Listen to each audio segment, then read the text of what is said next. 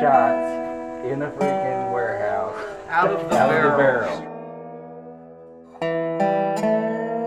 Here's Hey, cheers, guys. Here's to drinking bourbon. Right. Mint Julep Tours. Mint Julep Tours. And Barton. 1792.